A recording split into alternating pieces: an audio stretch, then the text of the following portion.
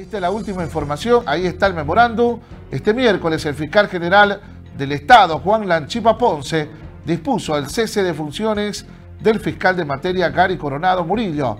Coronado fue notificado formalmente con su memorándum de agradecimiento en la Fiscalía Departamental. Fue muy cuestionado por haberlo dejado eh, libre al principal conductor del motorizado que al final se entregó y está también con medidas cautelares.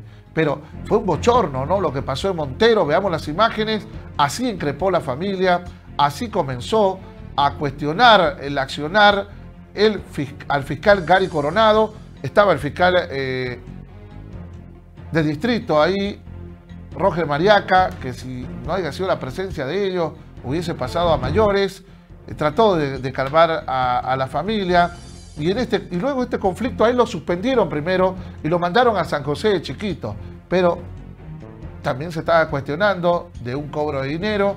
Lo cierto es que ya llegó el memorándum de agradecimiento, agradecen por su servicio. Y como no es un fiscal de carrera, es solamente una persona que estaba eh, trabajando eh, como invitado por el Ministerio Público luego de dar un examen, han decidido cesar de sus funciones a este abogado. Hablamos de Gary Coronado, que en este momento deja de ser fiscal de materia.